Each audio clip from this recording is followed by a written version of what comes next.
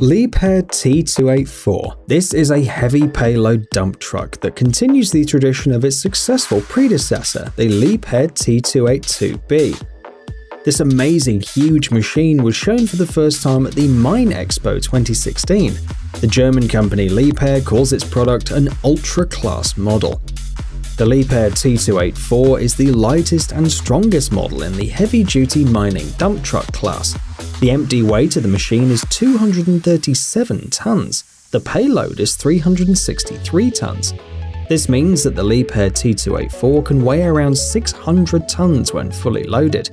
The huge machine is powered by a 4,000 horsepower engine. Surprisingly, with such parameters, the truck stands out for its low fuel consumption and environmental compliance.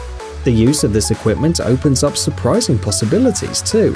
With a reduced number of trucks on the construction site, the production plan can be fulfilled in a shorter time.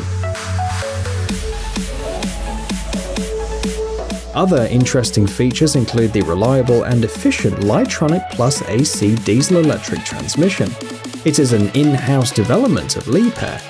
The technology provides power enough for acceleration in all conditions, even when driving uphill. The relatively low weight of the dump trucks also allows for faster movement on the job site.